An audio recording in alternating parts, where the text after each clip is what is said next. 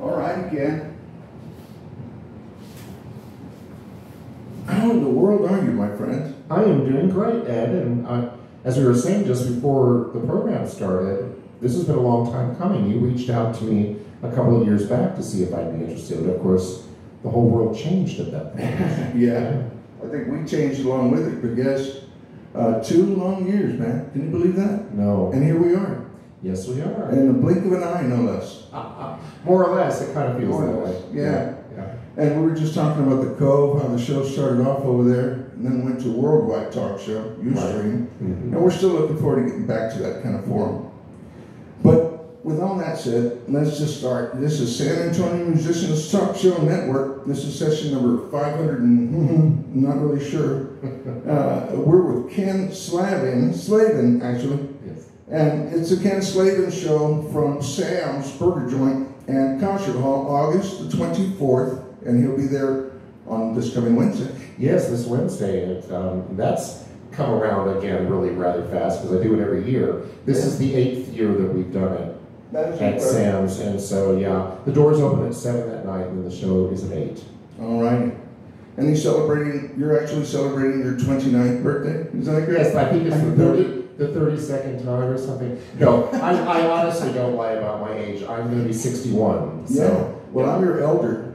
Oh, I'm my goodness. 64. well, good for you. You look Yeah. great. Uh, well, you know, I, have- know about baby- that, but I a do appreciate face. the lie. I have kind of a baby face. You know? you do It's too. not, that's not the kind of face that, that looks older. Oh, well, here we go. Let's see. And yeah, so your eight-year run at Sam's Burger Joint and Concert Hall at 330 West Grayson, for those of you that don't know where it's at, 330 West Grayson, the tickets are at the door, so you can get them. We still have a couple left, right? Oh, yes. They're running fast, but go on and get your tickets, Yes, guys. please do. Online too. They can go to well. and order them there as well. Now, that's a heck of a setup that they've got going on. You're turning it into a, a real cabaret show, aren't you? Yeah, I, I'm going to tell you, it was um, when I first called them eight years ago, and I can't believe it's Yeah, I been wanted eight years, but, but I, uh, I called to see if I was looking for a venue to just perform. It was, it was, um, it was in 2015. So I was looking for a place to perform and um, a new place to perform. So I got a hold of Eric Christensen, who books all of the entertainment out there. And we Yes, had a nice talk, and I said, it probably sounds strange that I'm calling. I'm a, I, I said, you probably don't know who I am. He goes, no, I've heard of you. I said, well, you know, I know it's, it's a classic jazz music, and you guys are a blues and rock venue for the most part. And he said, yeah, but we like all kinds of music. Amen. Uh, we, we'd like to give you a try. So I did a, it wasn't the birthday show, I did something else there, because I play there three times a year now. Three times. Yeah. So he gave me a chance, and you know, I, I promised him I'd do all I could to help promote it because of my background in public relations and marketing. And I'm going to need you for that. Yes. So it, talk later. yes, but it, it turned out really well. It, it went very well, and so they said we'd love to have you back. And so I started just. It's become an annual ritual. Eric and I get together on the phone and in emails usually um, right after Christmas time or so, and we target dates for usually May, August, and then Christmas. I do a Christmas show. Wow, that's so And wonderful. but, but you have to wait a while to get confirmed dates because they also are booking traveling acts Sure. and you know the, the both the big acts and the smaller acts. And so I can't I'm not allowed or not able, I guess, to play there on Fridays or Saturdays. That's why my shows are always on Sunday or Wednesday. Actually, I think those are great days They for are jazz. That just are changes up the whole groove. It does, and I, I've been very proud of the fact that the, the band and I do kind of change up the groove. I don't think there's anyone else who's doing what we do at Sam's, that's for sure. Not that I know. That, in fact, I think in the whole city of San Antonio, you know, Jim Cullen was a dear friend of mine. God rest his soul. Yes. He was a big part of this show starting off. Oh, wonderful. He was my mentor. That doesn't surprise me a bit. He was he was very kind to me as well. He was a, he was a really good man. And we actually had the I had the great pleasure of doing a couple of shows where I was sharing the bill with him. And did- Really? Yeah. Well, see, I was going to ask you about that, but since we're on that topic. uh, how long had you known Jim? Gosh, I I met Jim probably within the first year or two that I was singing. I had heard him play, Uh-huh. and I'd been at concerts of his prior to that, but I got my professional start in 1990, and I think I met him around 91, 92 when I started hanging out at his club down on the Riverwalk. On Sunday nights because some of my jazz friends were playing there, and they would let me sit in. So that's when I started getting to know him. And then it's funny, several years later, he knew about my background in public relations and knew I, at that time I was working for a, um, a large agency. He called me up and asked for some help in promoting swing dancing at his club when he first decided to do that. That was in 1998. And so I did all of the initial publicity for him and invited Really? media to come and review. No and- wonder it was a huge success. But we had a wonderful time. Yeah. And then that night, I the, the opening night of it, I brought I brought friends, I brought media, and he invited me up to sing with his band. And then from kind of from that time on, whenever I was in the audience, he always asked me up. Wow. They, it was it was very gracious. of Well, what kind of songs did you play with Jim? I, I was going to ask you, what are some of the favorite songs? We're going to get to that as well, but still, it seems like we're just hacking the whole show. Yeah. Well, um, I mean, like when he asked you to come up, obviously you have a song in mind already. Yes, I would usually do um, songs like uh, "Please Don't Talk About Me When I'm Gone." Um, I, I say that often. I do. don't, don't we all? Because they're they're nice to us when we're they're looking at us, and then you turn around. yeah. But uh, he was. Uh, I would try to think of songs from like the 20s and 30s that I could do that would kind of fit his style. But I'm going to tell you something. He knew a lot about other eras of music. We did a show together at Ruth's Chris when it was back when it was at uh, Sunset Station. Okay, yes. Um, I was appearing. I was appearing there regularly, and um, he went to them and talked about doing a special show in the upstairs where we had like two seatings and did you know uh, high ticket and did a dinner menu and all that stuff. He was really good And at he, that. and he brought his whole band, and we. But he worked with me like about a week before. He said, "Come to my house. Let's run through the set list you'd like to do, and let's let's look at songs that would work for the band and for me and for you together." So we did. Well, you're not going to believe this. That night, I mean, we did some of the things from his era. We did stuff from you know maybe the 30s and 40s that I do, some Gershwin and things. But he also did Fever with me. Oh, hey. And I have photos of him. I don't have any video of it, but he was snapping his fingers and he uh, dancing around with me on the stage. Oh, my and, God. And, uh, and and pulled out his uh, trumpet and did it with one of those. He he did his solo with one of those interesting mutes that he had for his his Oh, uh, cornet for his Yes, cornet.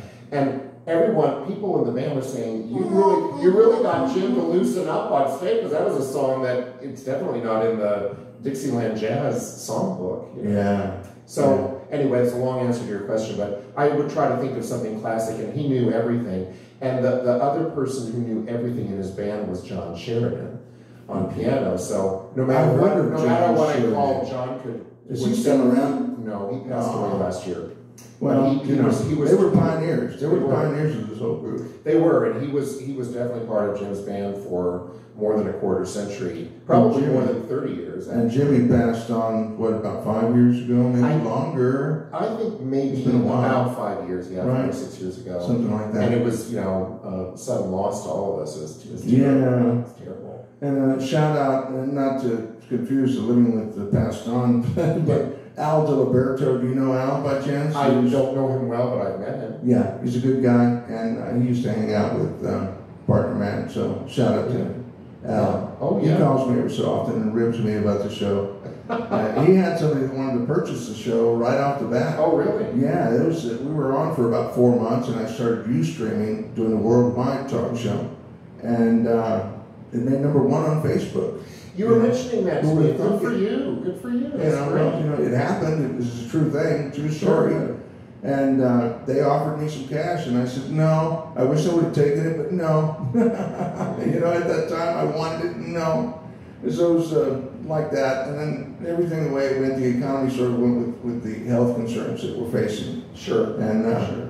I just wanted to kick back, and, and really, I didn't want to do anything. How about you? I mean, wasn't it a difficult time to kind of get motivated? It, it was, and I found myself um, doing very little during the pandemic, uh, very little musically. Yeah. I was I was working hard at my job, but it was um, not much musically, and I was missing it. sure. But um, I would, I would, I did a couple of live streaming things. In fact, one of them was at a nursing home where uh, uh, Barry Brake and Darren Cooper and Chuck Moses and I performed outdoors but the, the residents were looking out from the windows so Oh. they, they could hear us. And we did, a couple, we did a couple of other streaming things like that, but definitely missed the live performing. So really, for about two years there, there's almost nothing of merit to report that I was doing. And then getting back into it was a slower process than I thought it would be. But now people seem to be so eager for live music that, you know, I've started to see an uptick in what I'm doing and I'm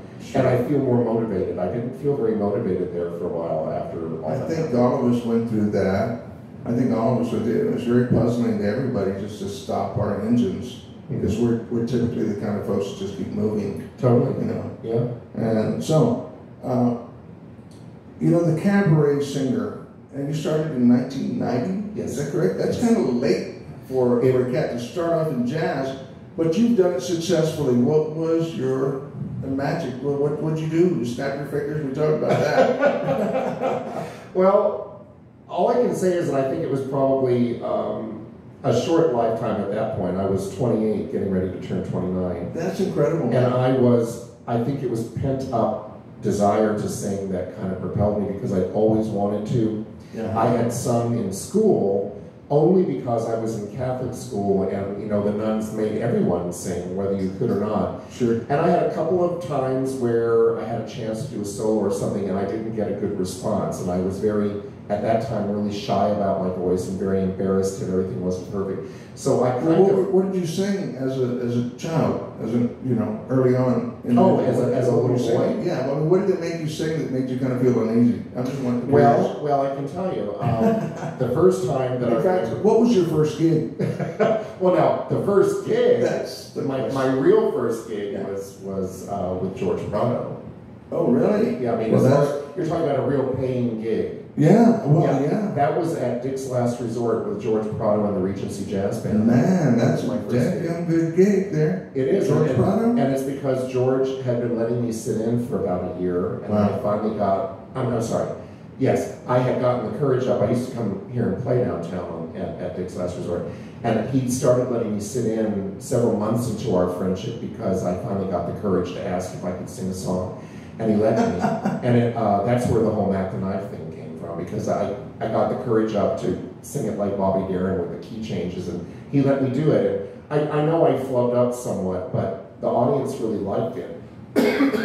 he liked it, excuse me, Yes. and he said, if you apply yourself, you've got talent. You can develop this if you apply yourself. Mm-hmm. So he let me sit in. I did it for almost a year every week.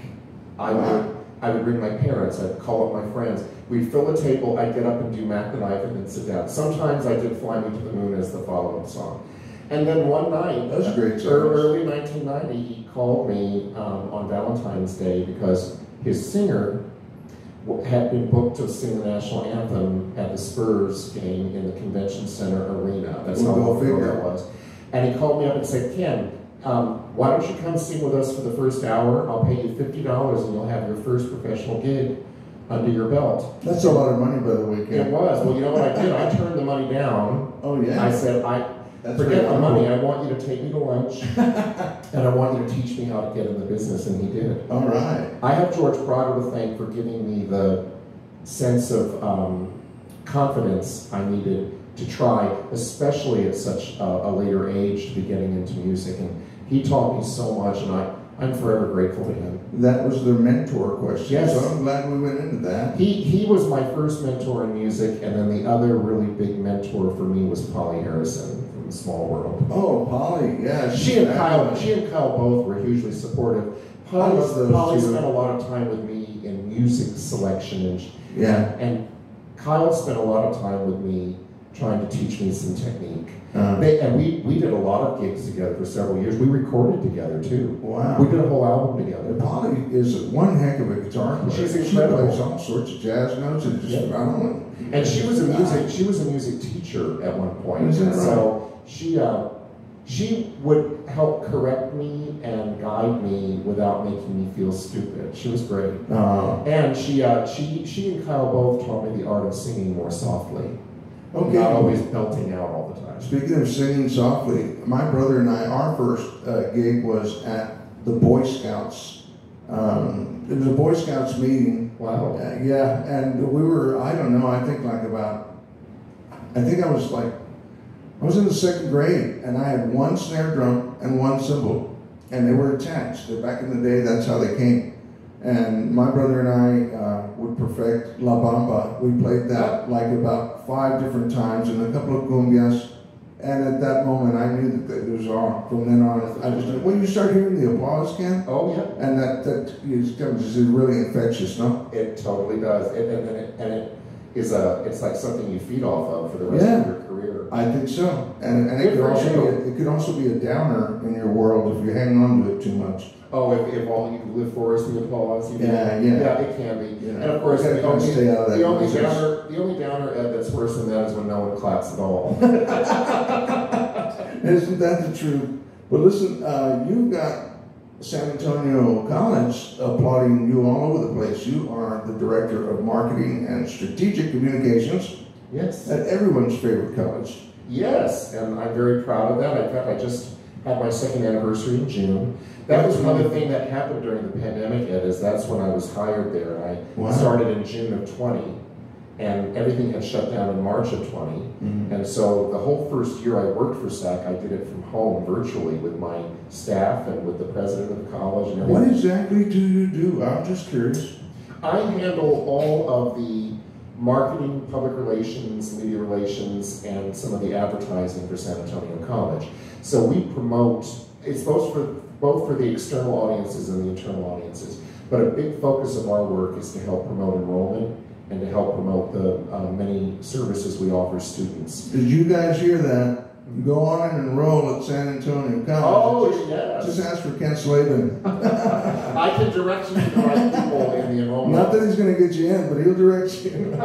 And, Down you know, it's a it's a very exciting job, and it's it, uh, a lot of what I do is also finding the interesting programs Mm-hmm. and uh, courses and things that might translate into good media stories, which also help to bring attention to the college and hopefully interest students in enrolling. So anything in terms of promoting the interests of San Antonio College and within the Alamo Colleges district, that's what I'm involved with. That's wonderful, man. And I, I mean, I mentioned that you wear a whole bunch of hats. You're also the chief uh, advancement officer at SA AIDS Foundation. I used to You had been. yeah, that was my job before SAC. And I, I noticed that the acronym was SAAF. San Antonio AIDS Foundation. Yeah, and I thought to myself, wow, he's part of the San Antonio Air Force. and then I had to read it again. I was like, no, that's, you know, no, you're, you've never Well- been in the military, but you do come from a military background. Yes, I do. My, my father, my father was a Coast Guard officer, chief Wow. officer, and um, so I grew up a Coast Guard brat. And uh, that's how I, I didn't grow up in San Antonio, but I came here when I started college because my dad retired and brought the family back here, and he had sung the praises of St. Mary's University, and so I uh, uh, applied there and, and ended up going to St. Mary's. But this was Dad's hometown. So really, even though I didn't grow up here and I was away all those growing up years, Mm. it was always the second home because my grandparents were here and my aunts and uncles and cousins and Okay. so I and now I've been I've been living here now for more than 40 years so it's definitely home. Well, I remember hearing of you back in the day. I mean, we, that's the great thing about musicians. We always know who's playing, where they're playing, and what they're playing. And uh, I had heard Kent Slavin, you know, and, and I'm sure I'm not the only one that would pronounce it Slavin. Oh yeah, uh, Everyone. uh, my father's my father always said call me anything you like just don't call me late for supper. That's an oldie but goodie. Former Vice President Communications at the Lift Fund, a Yes. micro lending organization. I Yes. could use them right now. Uh, you know, you've just done so much. And in 2012, uh, you had your own Ken Slavin. Mm-hmm. Public I said that relations. correct. Yes, you did. Ken Slavin, I was public checking my own, so yeah, you had your own public relations uh, outfit, and that's Yes. pretty solid. You went to Atkins Agency. Yes, that was the, my longest tenure in any job was there. I was there almost 12 years. And that was that was um, the big agency I was working for when Jim Cullen first called me about helping promote his his club. And it, it um, Is that still around now? well, it, the, the one I worked for no, is no longer, but the son um, has a, a boutique agency now called the Atkins Group.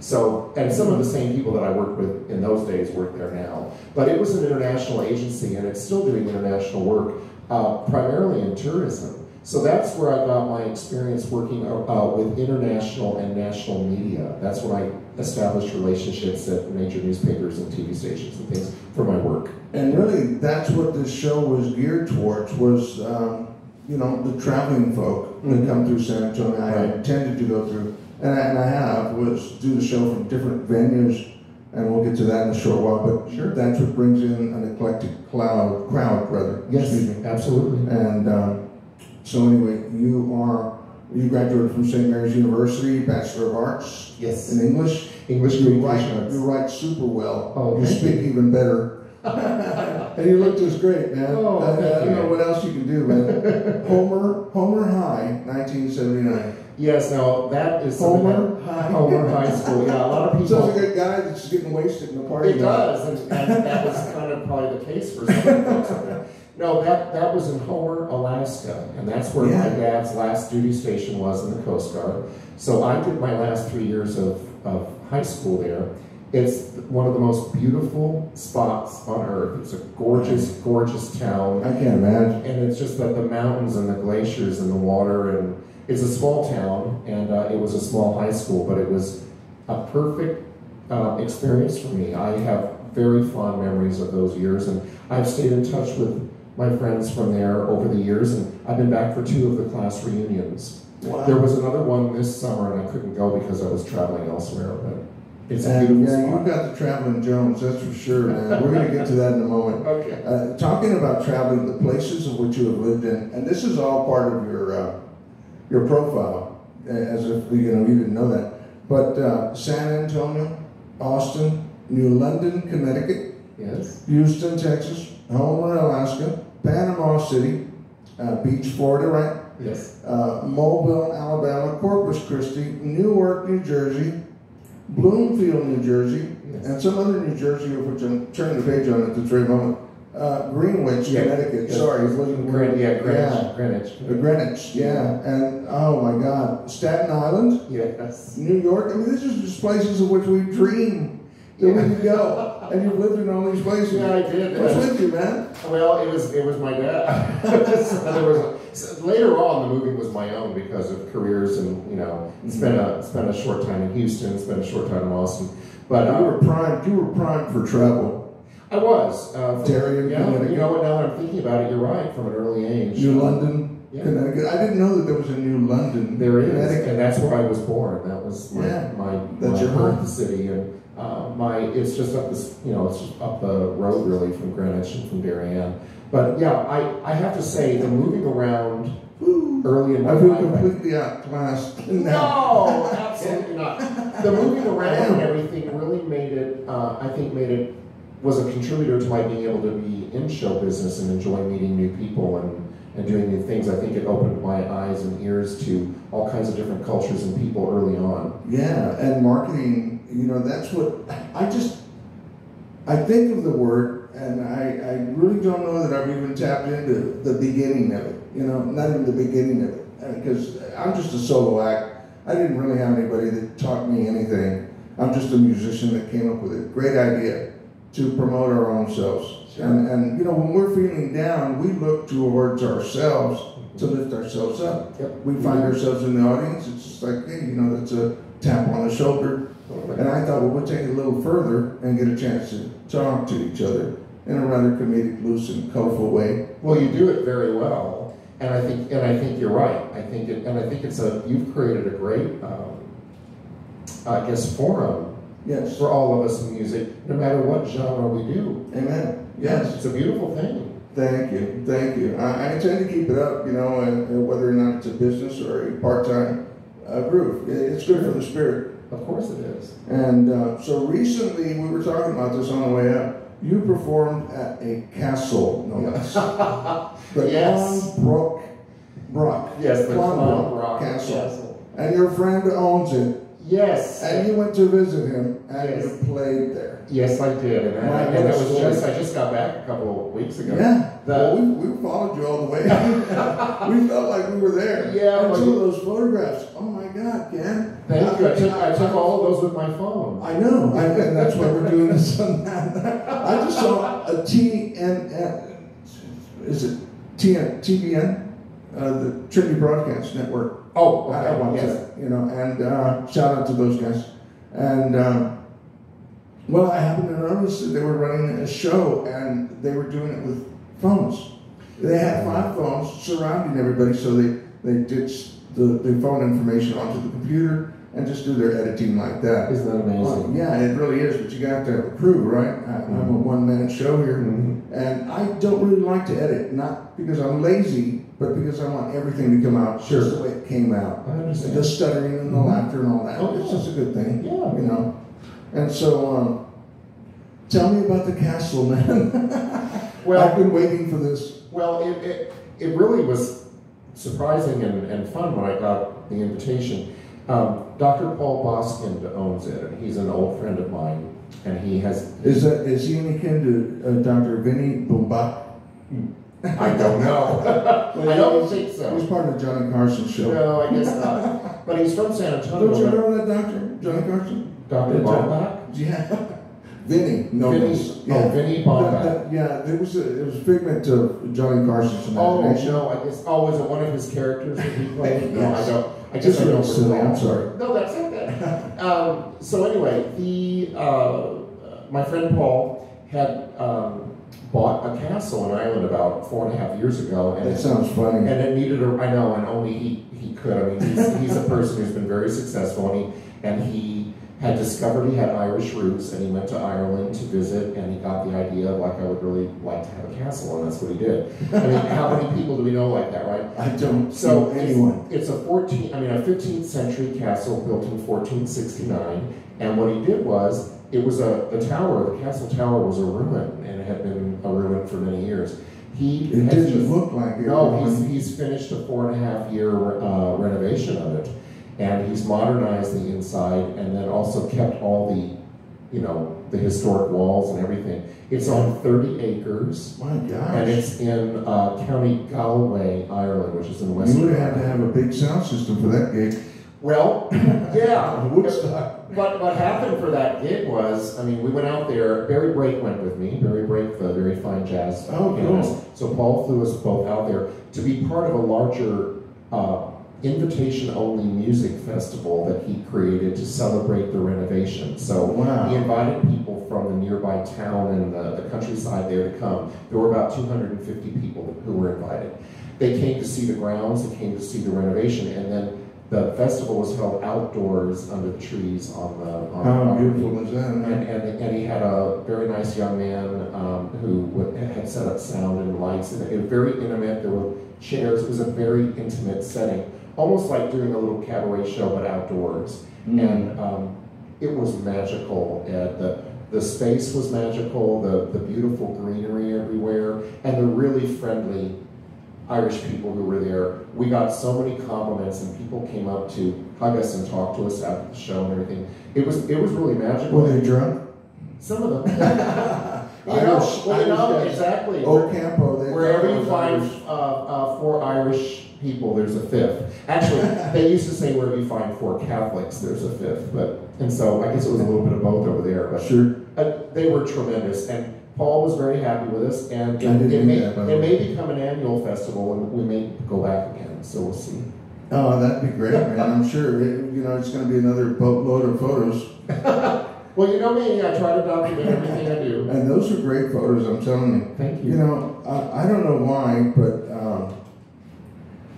you know, you've always been a crooner, have you not? I mean, that, that's, That's the style I always wanted to do, even as a kid. Yeah, I mean, did you ever want to do any other style of music? No.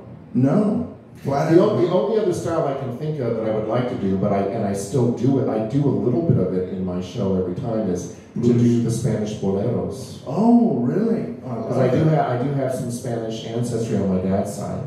Well, I definitely have that. I have Spanish and Mexican ancestry on my dad's side. Wow. And so I, I don't speak Spanish fluently. I, I studied it for years and used to speak it really well. I don't so much anymore, but I've learned many Spanish songs. The style I like to do when I sing them is like uh, Los Panchos and Eydie Gormé. That intimate style of like maybe three musicians and, and her. That's what I try to do, and I actually have recorded a couple of songs in Spanish in that style. But I never wanted to be a rocker. I didn't want to be a blues artist. I also That's knew, coming up. I also knew at least as far as my sensibilities are and the way I'm wired, the, the classic crooning suited me, and it was it was what I responded to even as a boy because that's what my father loved to listen to. Okay, so there's your other mentor. Oh, no other And my mother, up in the and my and my mother, they were the best. They both were. They both absolutely loved that I was singing. They loved it. Now, do you play any instruments, and did they play any instruments? I do not. I, I when I was in junior high school, I played clarinet, but I haven't done that since. Mhm. My dad played saxophone. He played alto sax. His father was a San Antonio band leader in the 20s and 30s. Wow, His name was, your other his name was. Albert Slavin, and he played alto sax and also had a Dixieland jazz band. Used to perform at the old Shadowland. Here in San Antonio? Yes. Now, was was this, uh, I mean, geez, Slavin was Yes. out there. Yes. That name was Al- see, Albert I, I always felt that you were much older than what you're saying. No, it's your family, It was man. me. No, my, my uh, the Slavin roots here. My dad's family goes back to the late 1800s here. They um, came here from Ireland. Wow, no wonder. New York. It feels like you've been playing all your life, but you know, we know your story. Well, it's, def- it's definitely in the it's definitely in the blood and in the sensibility. But my our house was full of music. My parents always played records, and my mother always danced. And dad played sax. He was not a professional sax player, but he loved to play it. He had great passion for it. And uh, so I, I can't say I still play a, a musical instrument, but people like George Prado and Paula Harrison always told me that my voice is an instrument. Oh yes, absolutely. I think uh, who was it? Uh, I think it was Joe Posada that said uh, the voice was the actual first musical instrument. So you're carrying on. And Joe Posada is a great guy. oh yeah, he's he, been on the show. he has a beautiful voice. Oh yeah, he's been on the show, and, and he was just a riot. Not only just a riot, but a great person to have on the show. You have a Grammy Award winner for Grammy. Yes, yeah. and it's the uh, San Antonio Musicians Talk Show Network, no less. Uh, you know, you said that you never wanted to be a hippie. Uh, naturally, I went that route. I was totally into the psychedelia thing. I mean, I, I bought into it. Woodstock. Well, I was- saw a picture of you from. when. It's on Facebook. It's a picture of you in a stage band, Oh and you yeah. had, you're on the far end. And I, I enlarged the photo on the screen. And you had long hair. Yeah, yeah, I did long curly It's- hair. it's a great I have picture. little hair. Well, the same with me. I used to have a lot more. Yeah, but it was that was a lot of fun. I mean, I did that all uh, since from childhood. Was playing. Um, we were playing. I think when I was in the third, fourth, fifth grade, and we went all the way through um, junior high, and then a couple of ten years thereafter. That's So it's and that was the Crystal Winter Band. I don't know if you had ever heard of that. No, band. but I saw I saw another picture for that. It was a publicity picture of all of you Oh, together the smoking snow. cigarettes. Yes, yes. Tell me we were really bad. could have been. We could have been smoking something else. I think.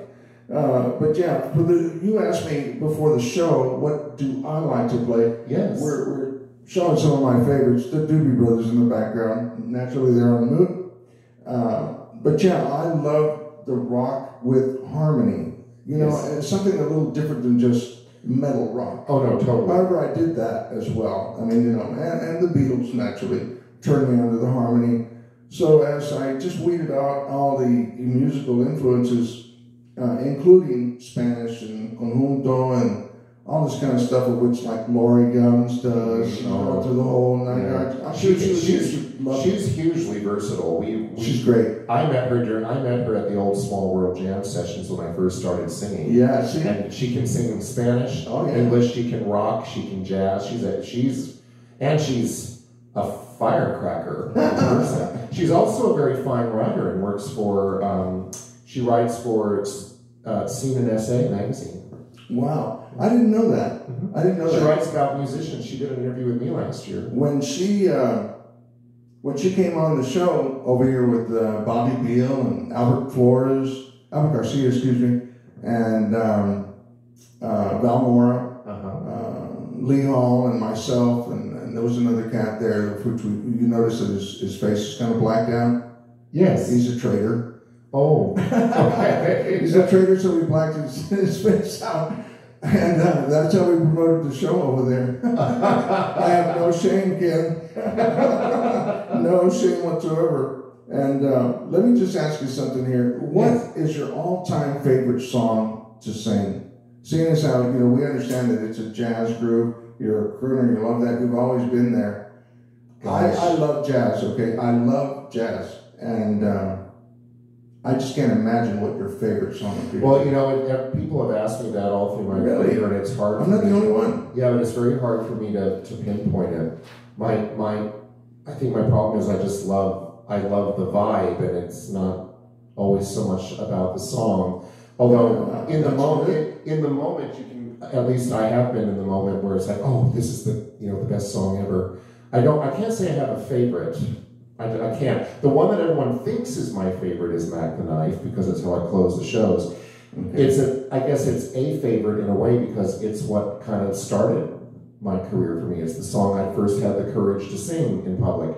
Yeah. But and I and I do love it. It's a fun, weird song. uh, jazz musicians, however, a lot of the ones I've worked with over the years don't like it. They think it's a dumb song. But I I've continued. I think they're more burned out on it. Yeah, because you know? everyone in the world has done it. Yeah, Uh, but there, you know, there are just including some- Elvis for crying out. That's your, your you know, Oh, you're right. yes. That's you're right.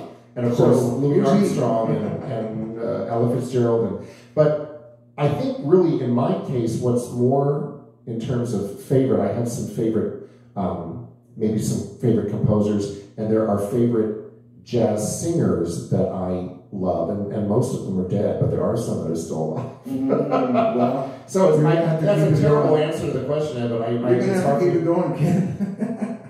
so it's not a bad thing that they're out and you're in. It's a good thing.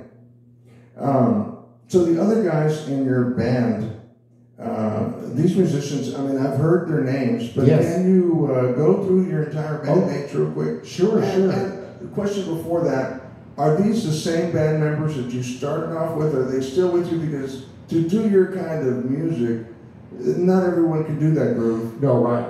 Um, they are one of the musicians in the band has been with me from just about the beginning. Um, Chuck Moses on bass. I've heard Chuck yeah, Moses, example. I, I've been in the business. I've been in the business now for 32 years, and he has been playing with me since that first year. Yeah. But it wasn't always as steady as it became later because I had a long period in there where it was, you know, I was doing 200 dates a year, and so he would, and they were mostly like standing gigs in hotels. Who in the world was booking you? And who's your I was booking? booking myself.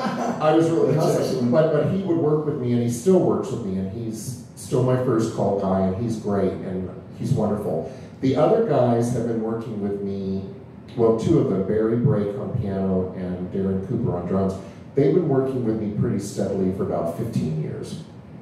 But they have their own band. It's just they work with me when I can book them, and most of the time they're available when I need them. Such a passion for them to, to hook up with No, they're, they're great. And then there's a there's a fourth member of the of the band that I I bring to Sam's. It isn't someone I can have at everything because you know four pieces can. Is that your guitarist? No, it's the vibe player, vibraphone. Oh my goodness. Joe Caplow, who's Ooh. also he's a an all around percussionist and he, and he teaches percussion at St. Mary's University and, and elsewhere. But he come, I bring him into the Sam shows on vibes and it sounds fantastic. And you get that whole kind of It's a full sound. Know, it's that nice kind of uh, jazzy, cabaret-ish, loungy sound that's really beautiful. it's almost like a uh, Hammond organ does for blues and, and this that. Yeah, it, there's a it's a, there's a sweetness that it adds to everything. Yeah, and, it's, and it's, very it's a very floating sound. Yeah. But he can also he hammers out great um, solos, and he'll trade with uh, the, with the pianist and with the drummer. Right. So so basically, it's it, you know Darren and Barry and Chuck, and then when I whenever I can get him, Joe Caplow. Yeah, I, I tried that in the stage band of which you were, you know, mentioning, and uh, you know, I, I could never, I could never do it. The vibes. yeah, the vibes. I could never do Well, it. you know, But I um, don't read music. I don't read. I don't, really don't read music. I've got these three guitars and I, I play. yeah, you've been a working musician all these years. So you're doing something right. Yeah, so, but I'm a drummer. I don't know if you know that, but I'm No. Yeah, I'm a drummer. I played drums all my life, and uh, that's one thing. Even still, even though the guitars are in here, you Well, I'd still. like to sell all the guitars and get a trap set. Ah. you know, I sold the trap set for uh, strange reason enough, uh, but I had to, and and so I sold it, and I regret it. But I still have the awesome opportunity to play with a lot of great people, Val and, and Bobby Beal and Albert Garcia, all the guys that I have on the show. I'm able to just walk in and play any song. Really, it just really didn't matter. Uh, I taught myself every type of genre, and then you know from rock to funk.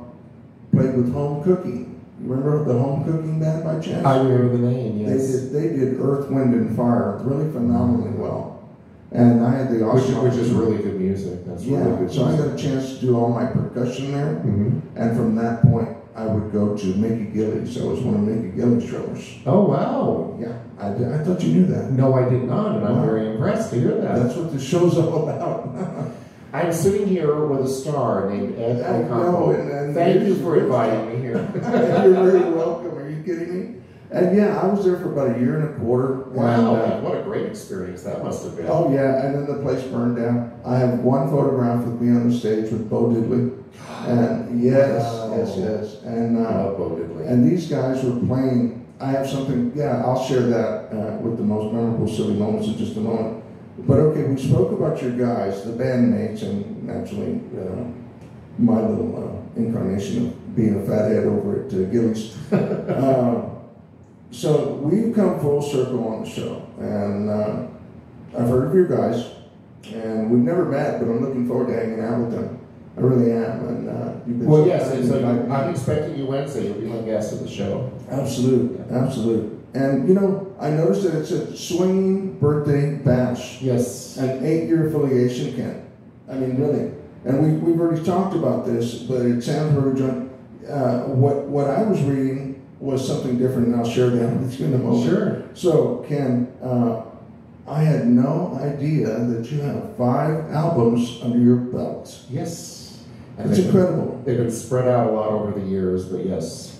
Now, who's the composer, and are you doing covers?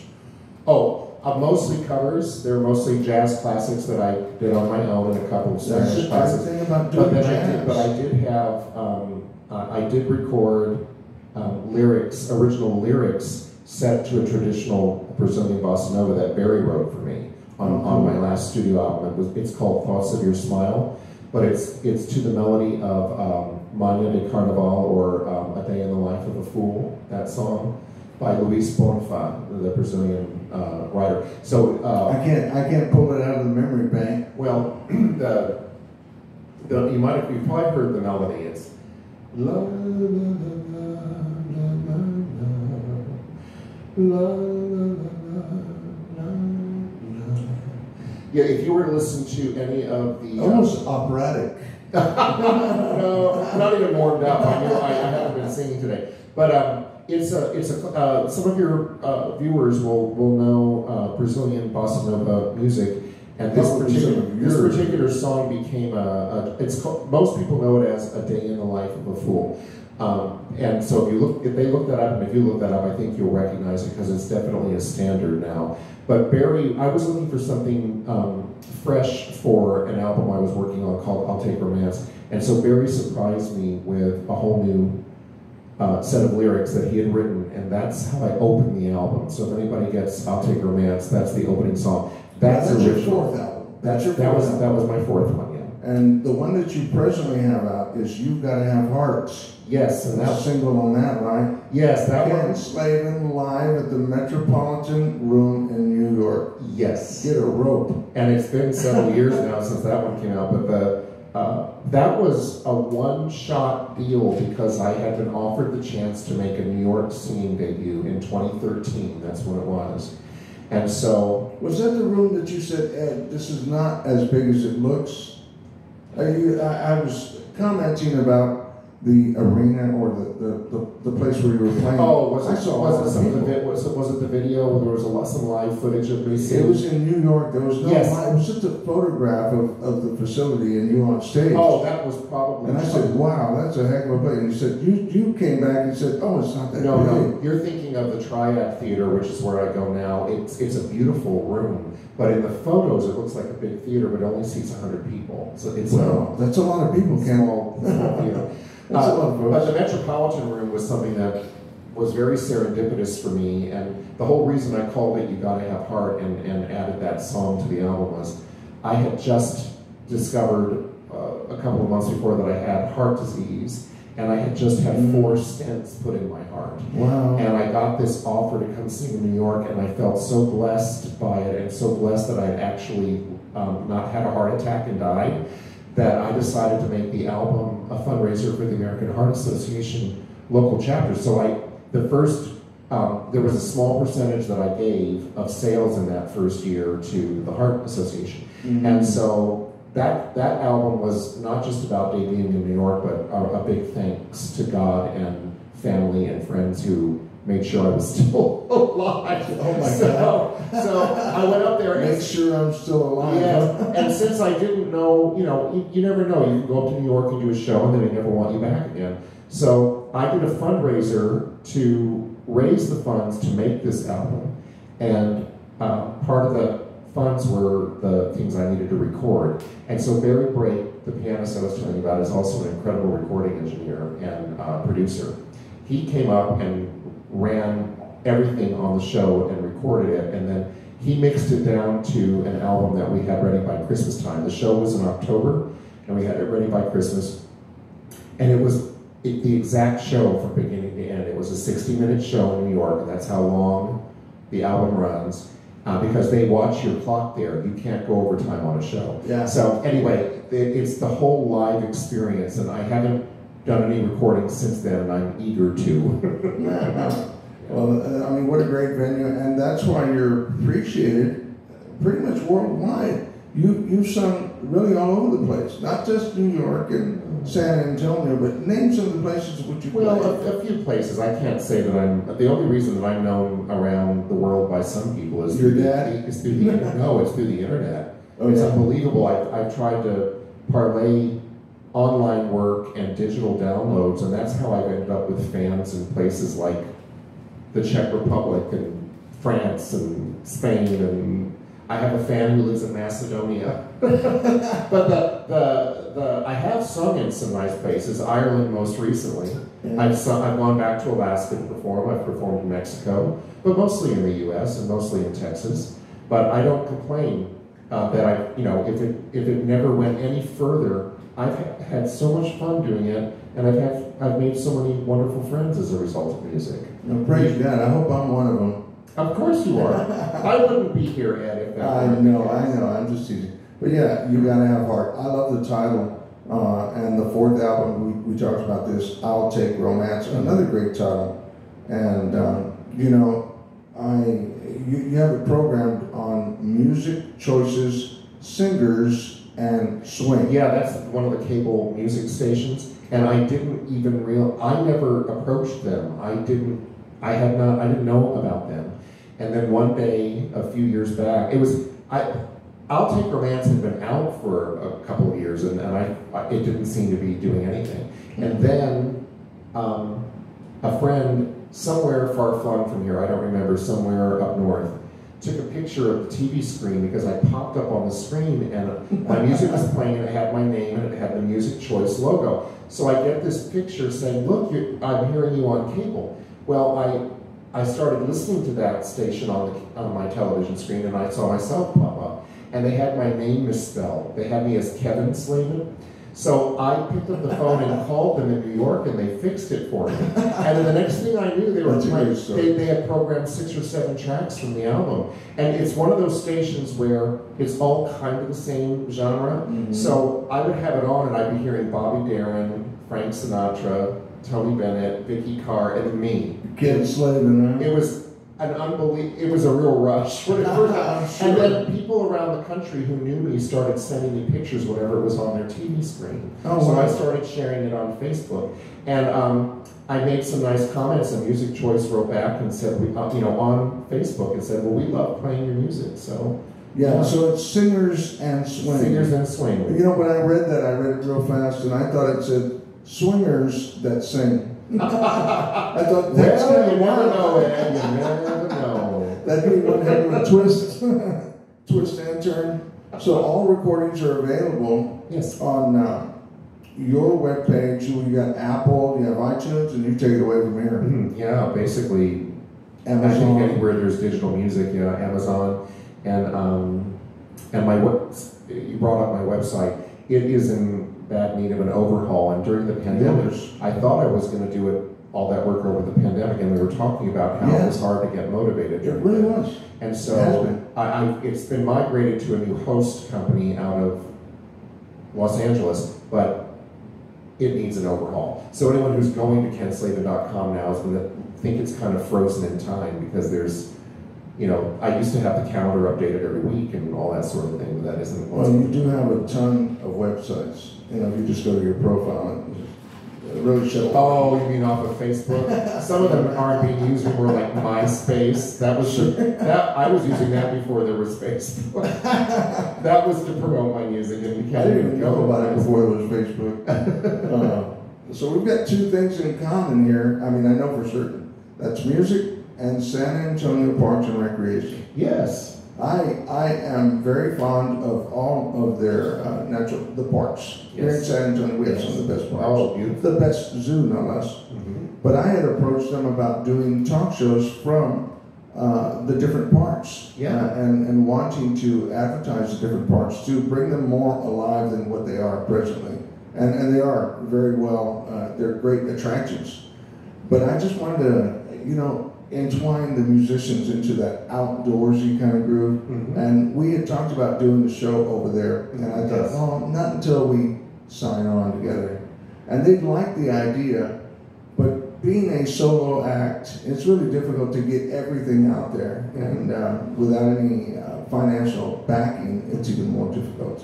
Mhm. So I'm hoping to get a lot of these things accomplished, and uh, Well, and I you think know, you start talking about it. Well, yes, and I, and I actually think that you will because you seem to be, you seem to persist in doing the things you want to do and, and the ideas you have. You've done it with this program, so Yeah. there's no reason why you can't keep pushing. Yeah, I, I don't see why not. So we'll, we'll keep on on that. And we had talked about your mentor. Uh, you know, for me, it was the Royal Jesters on the west side of San Oh, Antonio. yes, Talk yes. about Joe Posada. Good Yes. intro and back into him. But uh, we were off Colima Street. My family was living there. And lo and behold, I think I was uh, younger than in the third grade. I don't think that I was in school yet. And the Royal Jesters were rehearsing right across the street. They would let no one in. They were adamant about not letting anyone in, but they would let this little Mexican boy, Oh, Eddie, they'd let me. I was about this tall, and I would sit underneath the snare drum. I could literally see the underneath of the snare drum as I sat oh wow, by the drums. Wow. And everything was glitter blue, the drum set, the custom amps, and um, the sound was just incredible. As a little boy, I mean, I didn't know what they were playing, but I knew that it was in tune, and it reminded me of Archie Bell and the Drells. Oh wow. Remember, remember Yes. Archie Bell the from Well, you know, I Houston, actually, I actually got to meet him Yeah, a couple of years ago, How right before the peculiar. right, right in the in the fall of nineteen, before the pandemic, I was invited to be in that um, Christmas parade where they were honoring Texas music. They they invited me to be on a float, but I was performing in New York the same weekend and I couldn't do it. But they honored me by inviting me to the press conference to announce it, and they they included my portrait with the others. So that day when we got our portraits that were being displayed to kind of promote this whole thing. yeah. I got to meet Archie and I got to pose with him. My In gosh. fact, there's a picture. Of, thought that we were talking I know, but there's a picture of Archie and me and Al, uh, Albert uh, Garcia. Garcia. Yeah. There's a picture of the three of us together Yeah. holding up our pictures. Ask him. You, you'll find it on Facebook. That's incredible. I had a wonderful time talking to, to both of them. yeah. Albert I'd known over the years, but I, had, but I had never met Ar- I had never met Archie Bell, and I was like, oh my, you know, like you said, from Houston, Texas. Yeah. we it's, it was the isn't that the- Archie Bell. yeah, exactly. Oh, man. And I it was it was the time now. Yeah. Yes. Yeah, and I used to dance to that song with my fraternity in college. We used to play that. We used to play that at the toga parties. and dance to it. exactly. Oh, and you know, we were talking about, I don't know what we were talking about. I led over here to the Paul McCartney ticket. Uh, Oh, wow. That was a story of which uh, I really should hang on to this, but still. I was taking my son to Clark High School at 8.42 in the morning. We were a little late, and KTFM comes out and says, we want to talk to Paul McCartney. Uh, first person that can sell us on uh, the Paul McCartney gig, call in. We want to talk to Paul. Yada, yada. I told my son I can do it. He said, No, you can't, Dad. I did it. I won the tickets, and I contacted Ed uh, Jr. at Clark High School, and I told his uh, principal. They pulled him out of, uh, of class to tell him I won the tickets, Oh, and, and he and I ended up seeing Linda and, And did, Paul oh, and did you get to meet them? 50 yard line seats. No, I didn't even go that far. I was just so happy. Oh my God! I know. I wanted to, but I, I couldn't. I couldn't do it. I just couldn't do it. I, I just Well, but think of the experience you had right up there. Good for you. What year was that? um, 93. well, it was the first concert that was at The Dome. Well, well, then you're the first concert Well, well, here's another connection here because I was thinking. Oh this, my sound- God. this sounds familiar. The Atkins agency where I worked, we did the public relations for the Alamo Dome. Oh the and we promoted that show. Wow. I, Wow. I did not go to that show. I went to the one later that year with um, Elton John and Billy Joel. Yes, I, that was a and, we, great we show. promo- and we promoted the Rolling Stones, and we. But I remember this, and I was like, "That sounds familiar." And I'm seeing, yeah, I was, I'm the one that put out the press releases and stuff. Oh my gosh. Yeah, That is so trippy. but I and I think the reason I wasn't there was because I had a gig. You know how that goes. yes. Get money first. But good for you to have actually seen him in person and to enjoy that. Wow, and winning the tickets like you did. See. yeah, yeah, yeah. So I mean, I don't know. That that was just a cool thing. I just thought I'd throw that in for the Well, you sake of it, you know. And uh, I love it. And so let's see, let's see, where are we here? Uh, looking back, what and where were some of your best gigs? Now, we've talked about the castle. That's got to be way on up there. I don't think you could, you know, outdo that. No, no, you can't. It was pretty magical. I will say, um, the most exciting night of my entire singing career was the night I first sang in New York. I had always York, wanted to sing in New York City. I'm, and I had tried for years, and I had never been able to get a gig there. And then I was so that was the happiest musical night of my career. Wow. I felt like a, I just, it was, I couldn't believe it. Everything went right. The, the, the, uh, I, I hired a New York trio. They were fantastic. The club was wonderful. I had a dressing room, which I'd never had. Mm. Someone had sent flowers. A ton of people from San Antonio flew up for the show. Oh, really? Yeah, people like Chris Duell and uh, Susan Reed, who was the um, um, uh, Bexar County District Attorney at the I time. remember Susan Reed. Jane Macon and some others. And then the uh, Jane Macon, the- one of the San Antonio folks, took me and Barry to 21, the famous club in, in Manhattan, after the show. So I got, it was like a dream. And then my friend Paul, the one who owns the castle, Mhm. he has a beautiful home in Manhattan. So he put me up for the whole week. I felt like, Jeez. I felt, I felt like, you know, some Royalty. musical royalty. Yeah. yeah. But it, it- the the sheer realization of a dream of wanting to always sing in New York, and it happened, and I was 52 years old when it happened, and I absolutely was thrilled by every moment of it. It was very hard to come back from all of that. It was that was the most exciting musical night for me. And, and actually, New York City, you would have to think, is your second home. Well, But would you say it's the first home no, or second home? I wouldn't put it quite that way, but I will say that um, us outside of San Antonio is Yeah. my favorite city in the country. That's for that, sure. That's probably what I And I meant. think it's because I also have roots going back there so long ago when I was a kid. So I've always had a, a, a warm spot for New York. Mm-hmm. But I, I love the energy of New York. And I love how eclectic New York is. And I love how fast paced everything is. And the architecture, the food, you know, everything about it. Now, you asked about other gigs. Yes. The most important, there are two important gigs for me, I think, that kind of were early on that helped cement all of this for me. The, the night that George Prado asked me, or gave me the chance to fill in for his singer for one set, that was in 1990. That was a blessing. And then in 1994, I did my first concert. And I did it as a fundraiser for the San Antonio AIDS Foundation. And I did it at the Carver, the Carver Cultural Center. Oh, I love that place. That was the, my first real concert. That was an extremely exciting night that also made me so nervous that for the first few songs I was trying to hold my hand steady like this with the microphone and Yeah. not mess up my voice. And in the middle Add a little vibrato. Yes. and in the middle of the first set, um, I started singing a kind of emotional song, and I burst into tears in front of everybody. I couldn't control myself. Oh my gosh. It was that emotional. Wow. Yeah. So those were those are kind of milestone things you Oh remember gosh, in yeah. terms of a live That'll never happen again, I don't Right, think. right. That'll never happen to, to capture all those emotions Mhm. to where you would come to tears. I don't think that uh, I've ever cried on stage. I think I've made other people cry though.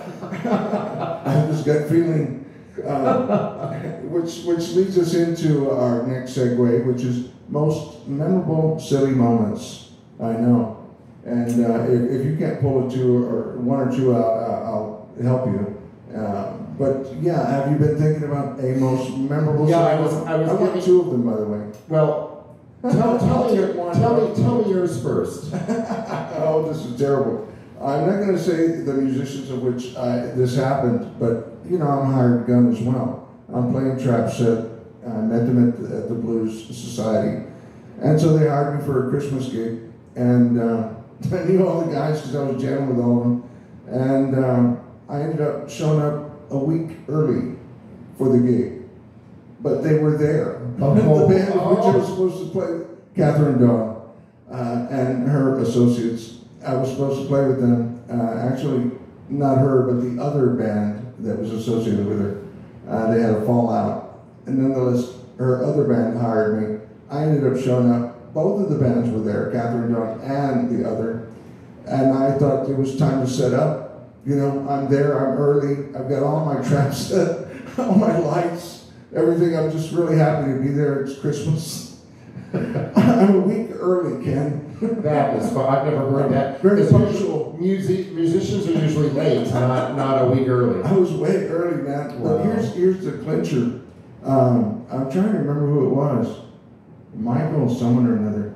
Anyway, uh, and Doc were playing that night, and uh, they hired me to play. So I Oh. didn't skip a beat. So yeah, so it wasn't a lost opportunity. You were able No, that there was beautiful. I got to play two Christmas gigs, and this was out in the country, uh, somewhere out Blanco Road or Bandera, one of the two. It was very dark. it was very dark, and the only thing you could see were the Christmas lights from afar.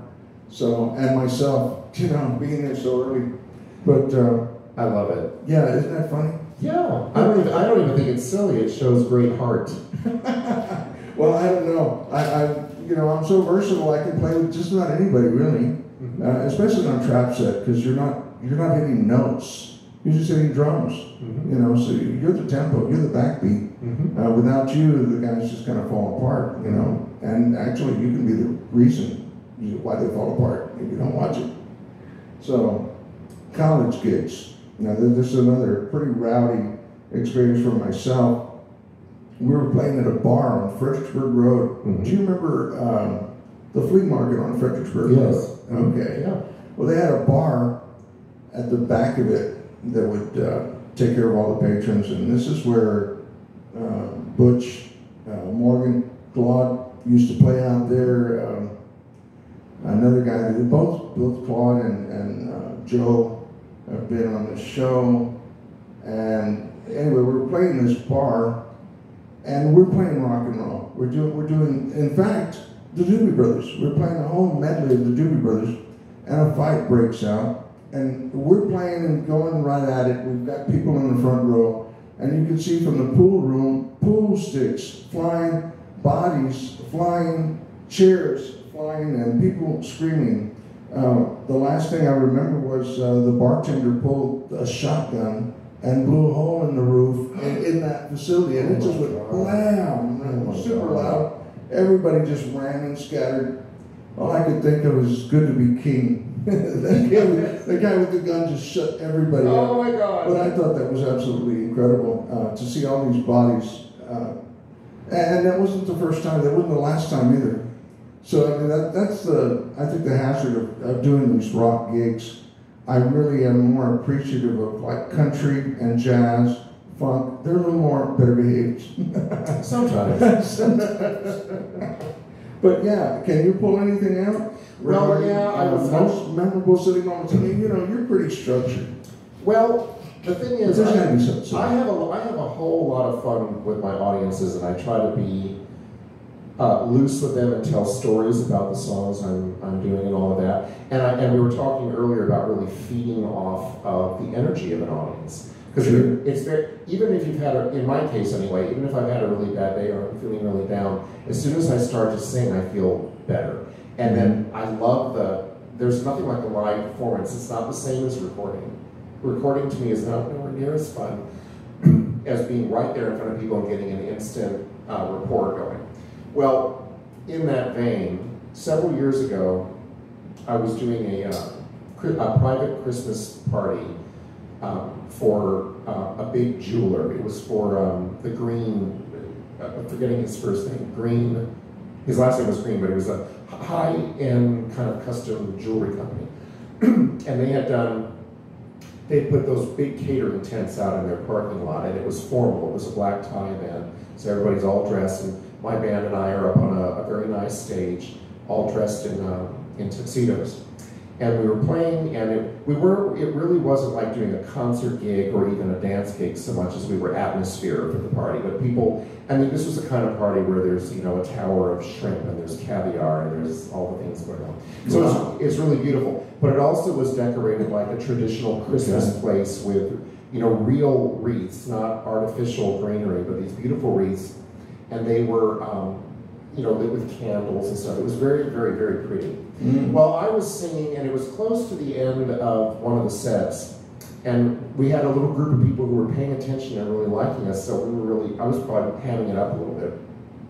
We were doing Fever, the song Fever. Okay. That's So we're going along and people are clapping and everything, and then um, uh, toward the end when it's, it's saying, "What a lovely way to burn, what a lovely way to burn." Well, and you're going, you know, all this. They, I'm, I'm, Louder. I'm at that stage of the song. It's hot, it's fever, it's burning, and um, all of a sudden people just start cheering, and I. And, then, and I think they're cheering. I thought they were cheering. and, I, and I, and I always have this silly thing I do with fever at the end. I'll go like, you know. Well, I was doing all that, and they were just having this huge, uproarious thing, and they're pointing, and I thought, oh my God, they're loving it. Well, what had happened was when I got to that part of the song, one of the Christmas wreaths above the stage with candles in it fell, and it fell on my bass player's amp. You know, with the it has that the kind of fuzzy felt material on top, and it went it caught on fire. Oh my So God. they weren't sh- shouting at me and thinking the song was hot. The stage was literally on fire, and so the, the woman in charge of the event came over and started smashing smashing the fire out, and then and there was damage to it, and of course. Like a true bass player or a true musician, you, you've heard his axe. It's not the bass itself, but it's you know the whole thing. You've touched it, you've heard it. So it didn't matter that the fire was out and disaster was averted. It was like, well, what about my amp? You know that kind of thing. So it was. Uh, it. I don't know that it qualifies as a silly moment, except that I got so caught up. I thought that I had really turned the audience on, but all it was was a, a giant fire right behind me. So That's funny. that came to mind. I don't. It's hard for me to. There- Burn, baby, there's- burn. But you know, there's a lot of silliness sometimes in the work we do, and funny things happen, and but you're also performing live, and so you just go on to the next thing, right? Like when you forget a lyric or you forget where you are. Yeah, I was thinking about that today. How you know, we might forget where we are in the lyric, yeah, and all that stuff, but we never forget to not stop. Yeah, you just have to you just have to plug on. I learned that very early on because I, I freaked out early on in one of one of my early gigs. Yeah. And I just stopped and made the whole band stop and everything and I was Sure. told don't ever do that again. Yeah. So Yeah, and I did one at Sam's. I think I played with Guitar Wars band, and the bass player gave me a head fake. You know, I'm I'm part of the rhythm section, and when the bass player kind of looks at me and goes like, you know, then it's time to end the song, and so I ended the song and they were still playing. Oh no! At Sam's, you know, they know I'm a good player. They know I'm a good player, but you know, when that happened, I kind of comedically said, "You gave me a head fake."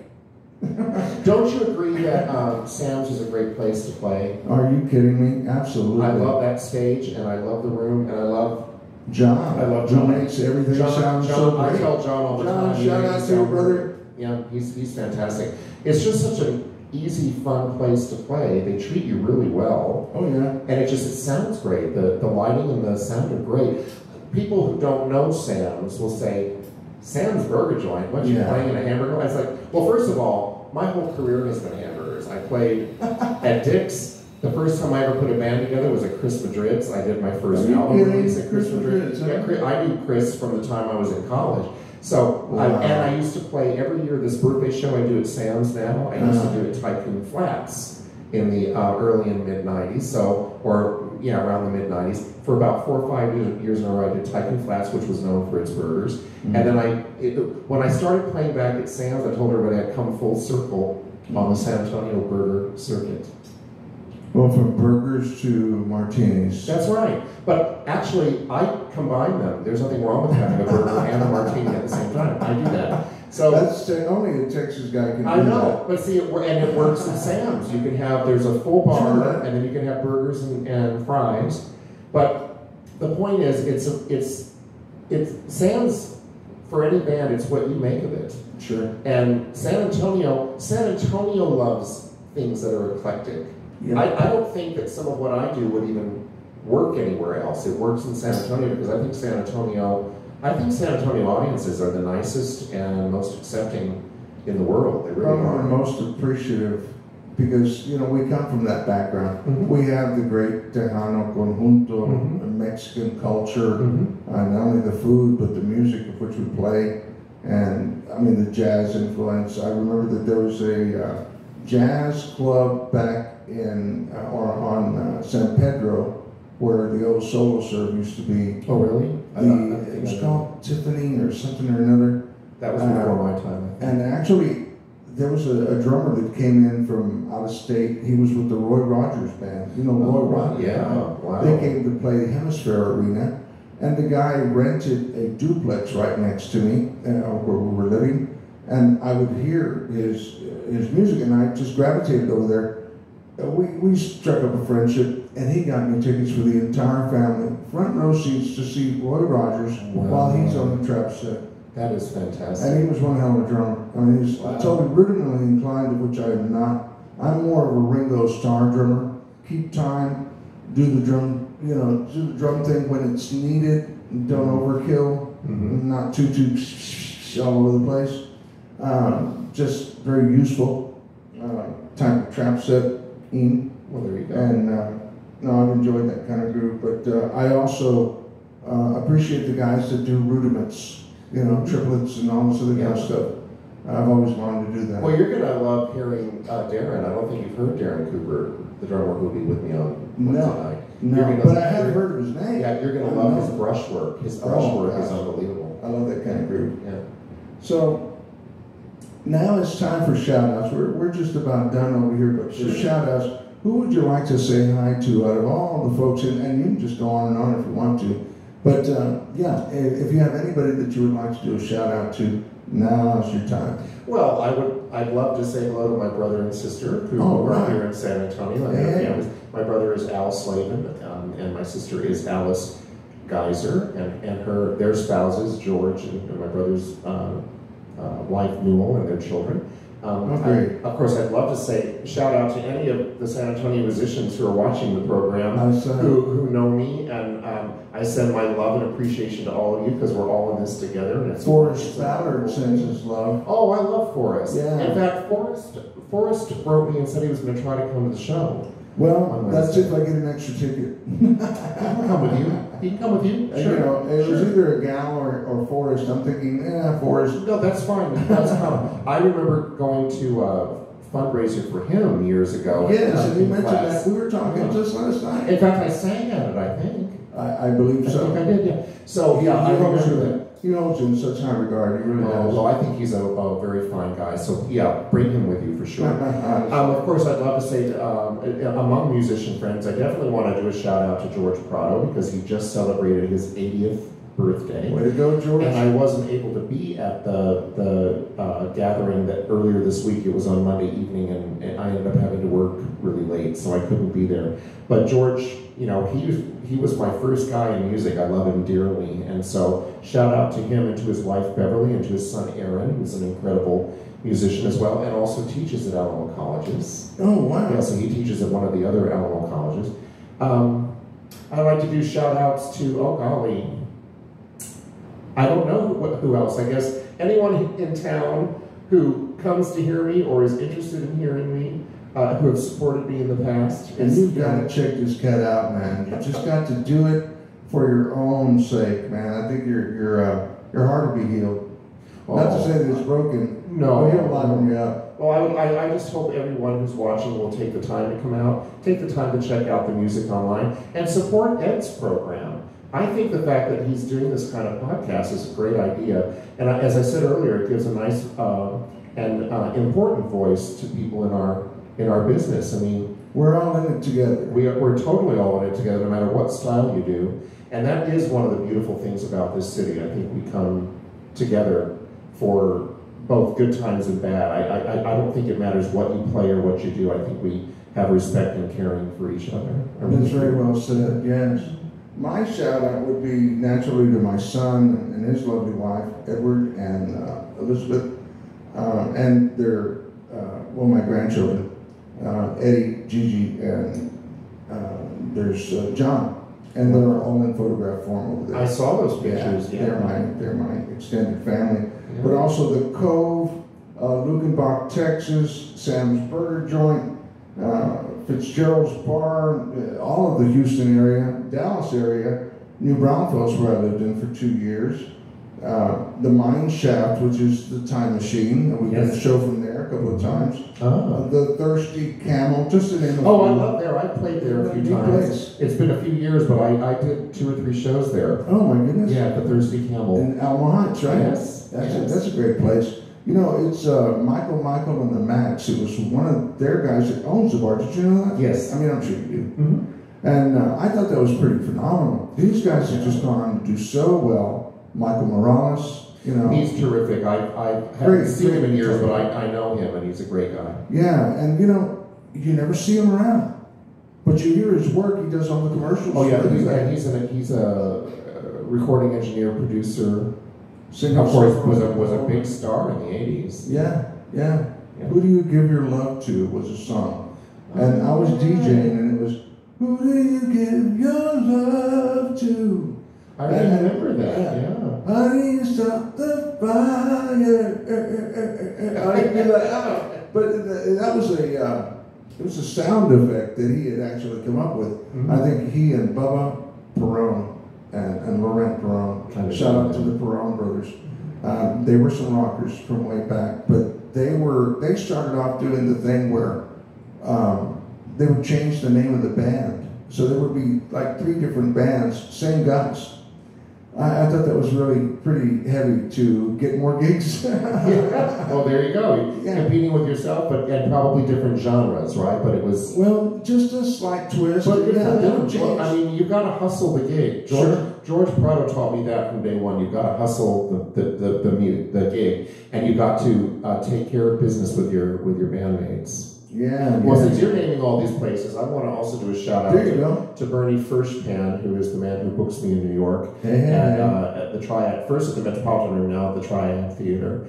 I'd like to um, say, I'd like to shout out to the musicians who are going to play with us on Wednesday night um, Darren Cooper, Chuck Moses, Barry Brake, and Joe Caploe, and uh, to the jazz protagonists, uh, Barry and, and, and uh, Darren have their own jazz trio with Greg Norris, but uh, they're called the Jazz Protagonists, and they have their own radio program and everything.